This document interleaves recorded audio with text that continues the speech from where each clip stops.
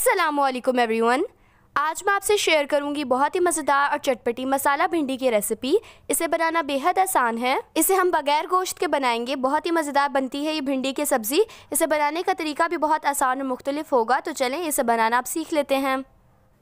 मैंने यहाँ पर दरमियाने साइज़ की तकरीबन एक किलो भिंडी ले ली है। इसको अच्छे से वॉश कर लेना है पहले आपने और फिर किसी कपड़े या फिर पेपर टावल की हेल्प से इसे साफ़ कर लेना है। आजकल मार्केट में फ़्रेश भिंडी आई हुई है तो मेक श्योर आप भी एकदम फ्रेश भिंडी लें। सारी भिंडियों को ड्राई करने के बाद हम इसकी कटिंग करेंगे।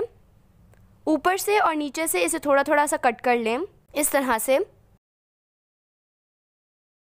फिर अगर तो ये भिंडी बड़े साइज़ की है तो इसे हम तीन हिस्सों में कट करेंगे और अगर ये दरमियाने नॉर्मल साइज़ की है तो फिर आप इसे दो हिस्सों में कट कर लें। भिंडी को हमने ज़्यादा छोटा कट नहीं करना। मार्केट में कच्चे आम भी आ चुके हैं। एक अदद आपने कच्चा आम ले लेना है। इसको हम सबसे पहले पील ऑफ़ कर लेंगे। कैरी ऐड करने से भिंडी की सब्ज़ी बहुत चटखारेदार और चटपटी रेडी होगी।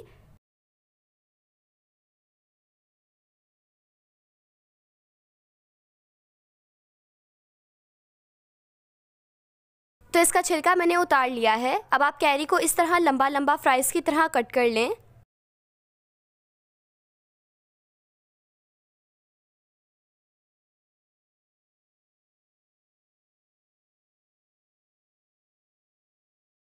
इसे कट करने के बाद आप इसे साइड पर कर दें।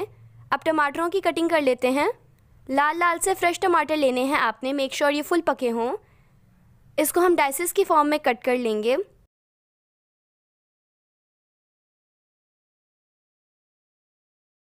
कट करने के बाद इसे भी साइड पर कर दें। अब हम चलते हैं अपने नेक्स्ट स्टेप की तरफ़। नेक्स्ट स्टेप में हम भिंडियों को फ्राई करेंगे। इसके लिए मैंने एक पैन में हाफ़ कप के करीब ऑयल ले लिया है। पहले हम मीडियम टू लो फ्लेम पर ऑयल को गर्म करेंगे। फिर इसमें भिंडियाँ ऐड कर देंगे और इसे फ्राई कर लेंगे। मीडियम टू लो फ्लेम पर भिंडियों की लेस ख़त्म होने तक हमने इसे फ्राई करना है। इसका कलर चेंज नहीं होना चाहिए, ग्रीन ग्रीन सा ही रहना चाहिए। तो ये फ्राई हो चुकी हैं, अब आप इन्हें एक सेपरेट प्लेट में निकाल लें।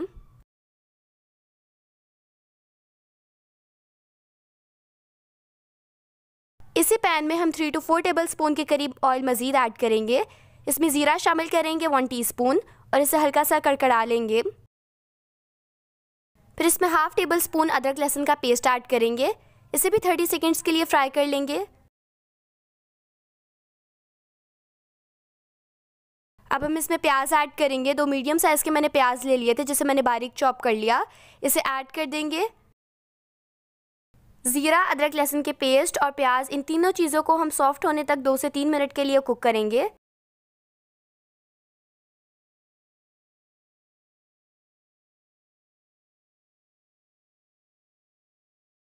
अब इसमें हम शामिल करेंगे टमाटर।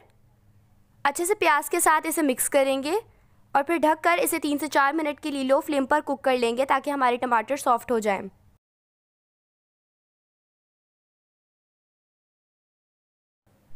तो तीन से चार मिनट हमारे हो चुके हैं। अब इसमें हम कुछ स्पाइसेस ऐड कर लेंगे। नमक शामिल करेंगे इसमें वन टेबल स्पून सुर्ख पिसी हुई मिर्च शामिल करेंगे वन टेबल स्पून हल्दी शामिल करेंगे हाफ़ टी स्पून धनिया पाउडर ऐड करेंगे वन टेबल स्पून और हाफ़ टी स्पून कलौजी ऐड करेंगे। अब अच्छे से इन स्पाइसेस को हम मिक्स कर लेंगे।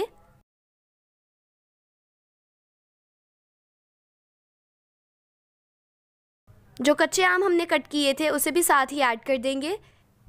तीन से चार हरी मिर्चों को सेंटर से कट करके ऐड करेंगे। अब एक से दो मिनट के लिए हम इसे कुक कर लेंगे।